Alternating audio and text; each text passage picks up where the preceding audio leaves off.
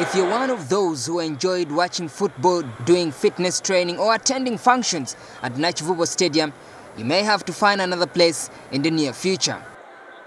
It appears the stadium may soon remain with just the pitch following the progressive leasing of its land over the years. Now NTV has learned that about six city tycoons have taken up or are gearing up to take up parts of Nakivubo Stadium land.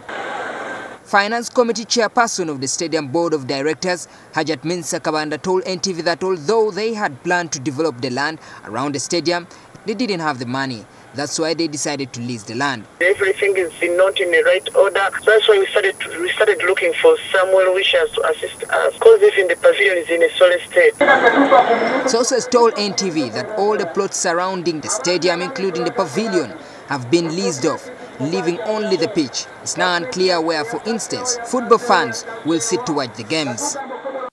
City Councillor for the Kisenyi area that hosts the stadium, Salim Uhuru, questions the procedure of leasing out the public land, saying it's shrouded in mystery. And which we condemn as leaders of uh. One, we condemn it.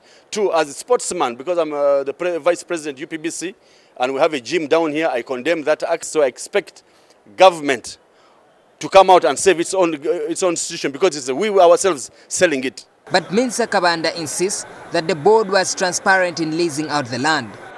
The act we are using was made by, by, the Parliament of Uganda, so we don't have the rights of selling, but we are to make uh, a private partnership.